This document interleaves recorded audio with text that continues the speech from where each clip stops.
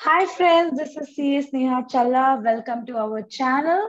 And in this video, we are going to understand when do we recognize a provision. So this is in the continuation to the last video where we spoke about what is a provision. So let's get started and understand more about what is this provision. Okay, so here we are going to talk about when do we recognize a provision. अब तो आपको समझ आ गई provision क्या है अब हम बात करेंगे ये प्रोविजन को अपनी बुक्स में कब रिकॉग्नाइज करेंगे okay so we recognise this provision if all the three conditions are satisfied. So what are the three conditions? Present obligation. So in the past video, we just understood what is present obligation. Present obligation can be created out of legal obligation or constructive obligation. Right so आज आपको पता है कि warranty claims आने वाले हैं, या आज आपको पता है बैड डेट्स हो सकते हैं so you create a provision right so moving ahead that is your present obligation मतलब अभी भी ऑब्लिगेशन है ना, अगर एक साल के अंदर वो वारंटी क्लेम करने आ जाएगा तो आपको तो वो ठीक करके देना है तो प्रेजेंट ऑब्लिगेशन तो है। So moving ahead will be talking about probable outflow.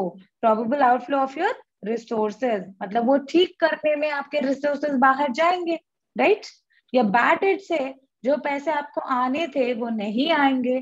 So that is the reason you create provision for bad debts right so it is a probable outflow जो होना चाहिए. Probable it should be probable outflow okay what is this probability it should be more than 50 percent मतलब 50 percent से ज़्यादा chances है कि मेरे organisation में जो रिसोर्सेज है वो आउटफ्लो हो सकते हैं because of this present obligation. So that is the second condition. I'm moving on to the third condition, which is called as reliable estimate. So what is this reliable estimate? Reliable estimate मतलब आपको आपको अंदाज़ा होना चाहिए कि उसका measurement कितना है उस, उसका खर्चा कितना हो सकता है आपको एक एस्टिमेट होना चाहिए।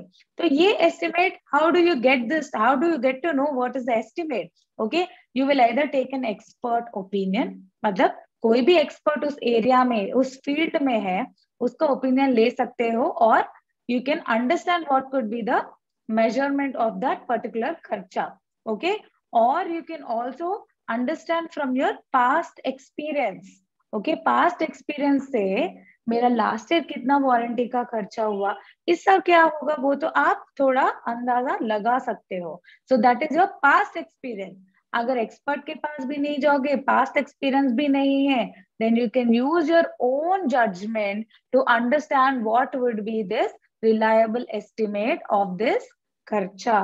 सो दैट इज़ वेन अगर ये तीनों चीज़ें सेटिस्फाई करेंगे, फिर आप उसको प्रोविज़न बनाओगे।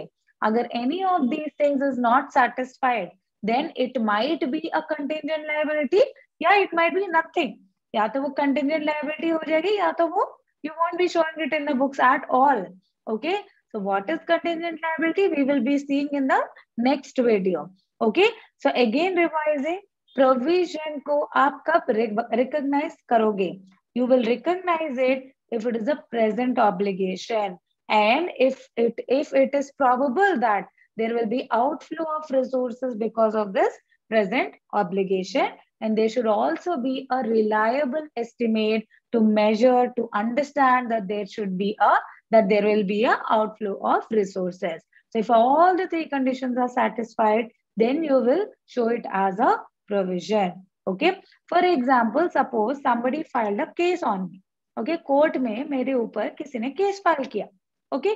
Now, i am sure that, see, that person has filed a case on me तो मेरा एक pleasant obligation तो बन जाएगा ना?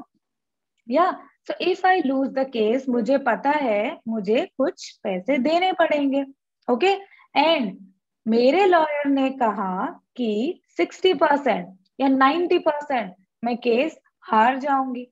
एंड उसने मुझे एक एक एस्टिमेट बताया। उसने ही is an expert lawyer is an expert So he gave me an estimate that आपके दस लाख जा सकते हैं so this is a provision so i will create a provision because it is a present obligation and there is a probability of outflow of resources and there is also a reliable estimate that is given to me by my lawyer. So in this case, I am going to recognize this as a provision. Okay. So if any of these conditions are not satisfied, then either it will be a contingent liability or it might not be anything. So that is about this video. So we will be covering the next topic about this chapter in the next video. So hoping to see you there. Thank you everyone. Bye-bye.